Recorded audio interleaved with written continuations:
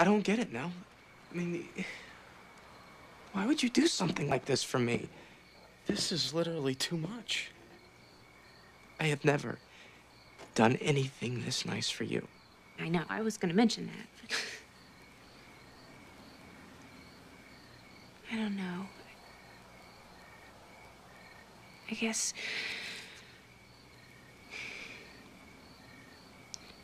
I guess I finally figured out that I wasn't gonna be able to be happy unless you were happy.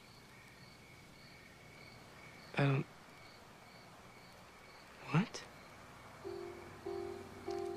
What about that don't you understand?